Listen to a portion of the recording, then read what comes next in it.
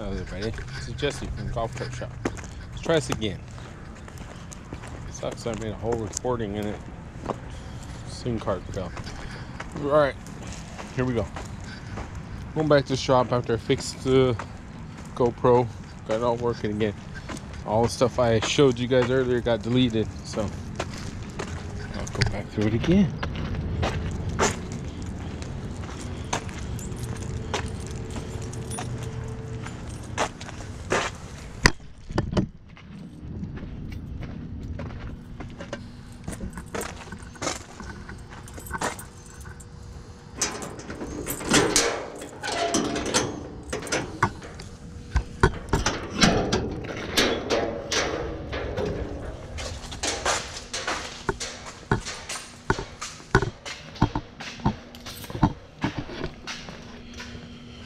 All right, let's go through it again. Here's some of the jobs we're doing today. First one I was doing, we were putting the alternator on a golf cart. Has a Briggs & Stratton motor, which has a like a. They don't have an alternator. They have like a like a what's it called? Like a rheostat, not rheostat, but resistor. Rah, rah, rah. Anyways, they have a different kind of charging system. It's built in the flywheel, which it charges like a go kart, but it only puts out the maximum is 16, minimum is 12. Okay.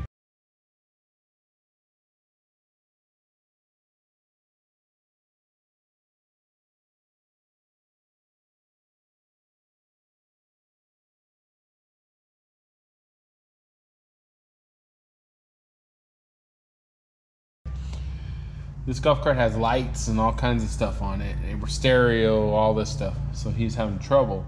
So I was gonna look up a bigger, bigger uh, charging system for the motor, which they go up to 20 amp charging system.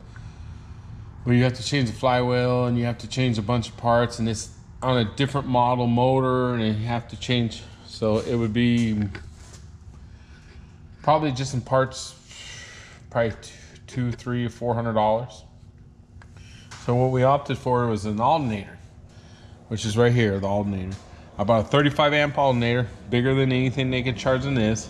Plus his system there is gonna stay, so 1635, that's 45 amps. He's gonna have to charge everything. This is just gonna charge the battery, keep everything for his lights, radio, and everything to work. We got the alternator on, and I was working on before the camera broke. I was showing you guys how I machined this nut to slide over this tube. So you can use it to adjust it. And then I'm gonna weld these nuts well, both these nuts on both sides for the screw on the heims which tensions the belt. And then I was also showing you what we're finishing up. This one this is a pressure washer had a plastic tank. And we took the plastic tank off and I put the a metal Honda tank. And the cool thing about a metal Honda tank is this is a second layer. It's not part of the tank, so you can weld it. I filled it full water. I welded these plates on, and then I bolted it on here like a stock tank and hooked it all up, and it works. Replacing the plastic, then you don't have to wear a plastic tank. But we're uh, going to move all the stuff out and then I'm gonna start. I'm gonna weld this uh, Heim system together, and then we'll we'll work on. Uh, lost all that lace. Work on lathe. Uh, lathe.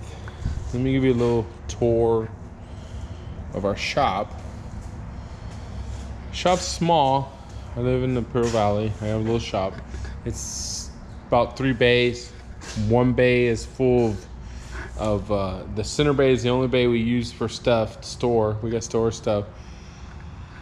This bay right here is we're we're set for the fabrication side. I got my benders. I got my D3 bender, my other benders, a, a, a layout table, a rolling machine, a lathe, all kinds of. I got a homemade notcher that I made myself out of an old lathe and golf cart parts, which is pretty cool. I took a Taylor Dunn drive system and it usually has a big carbide on here. It's submersed. But anyways, that's an old lathe I turned into a notcher to notch pipe. And got a press. We got a you know a press and a few other things around here. Presser.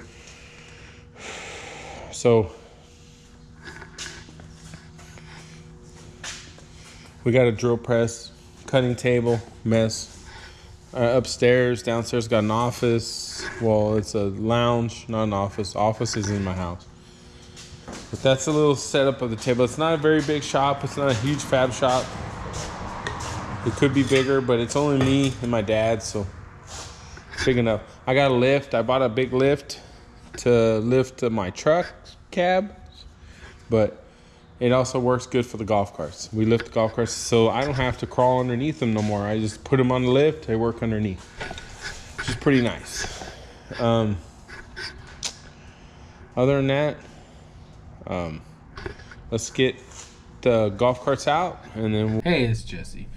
I just wanted to end this video before end this video saying that sorry about the misinformation about the stator. Uh, I I kind of slipped there. Had a little frustration with the GoPro and channels and everything, but I'll get it better. Trust me. And uh, if you'd like to see anything else, just give me a write in the comments. You want to see me do something else or show something else, I can. All right. Have a good day. Don't forget to like and join. All right. Later. GoPro stop recording.